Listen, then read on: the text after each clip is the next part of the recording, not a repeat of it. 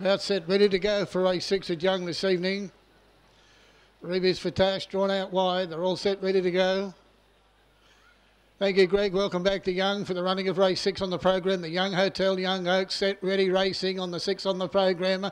And the front line came out almost as one, and Royal Story got the best of it. On the outside, she's a sharpie going forward, and Ruby's for Tash third. Fourth on the inside, I'm with Lexi, and behind them is Taylor's Reason on the outside of it. She's all apples, and behind them as they go to the top on the inside of those, then Joanne Leone. Colby Abbey's parked on the outside of it. Second last is uh, She Sugar Sweet, and last of all is Don't Think Twice, the sixth event at Young this evening. And she's a sharpie, one of the favoured runner, leads out nicely.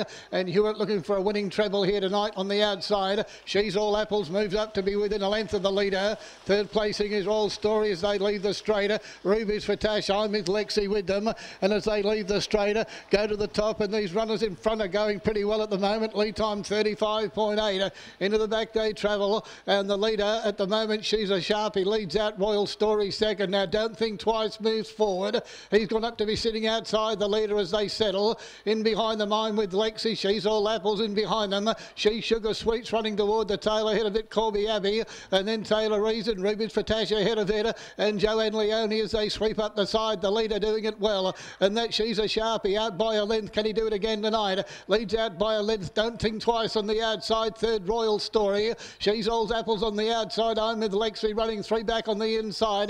Joanne Leone full back on the pegs. Ruby's for Fashion's got it. It's parked on the outside and behind it. Taylor's Rain and further back still on the inside then Corby Abbey.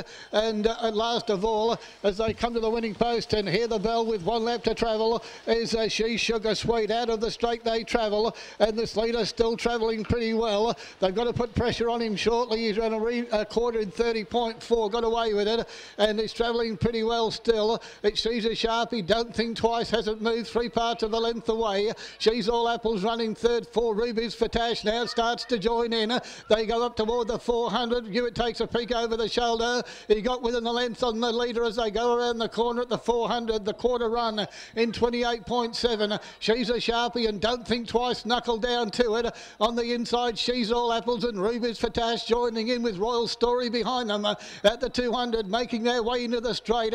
And they're together as they face the judge on the inside. She's a sharpie. Sharpie don't think twice on the outer, and she's all apples getting through on the inside. It's not over yet. Ruby's for Tash in the centre. They get to the line, and she's a Sharpie has beaten She's all apple. Don't think twice third. They were followed in by Ruby's for Tash. I'm with Lexi. Behind them, Royal Story, and then Taylor's Reason. Further back in the event as they cross the line, then in the uh, feature race on the program, and further back still as they cross the line, a couple of the back markers are tangled up, and they include Colby Abbey as they cross the line in the feature race on the program.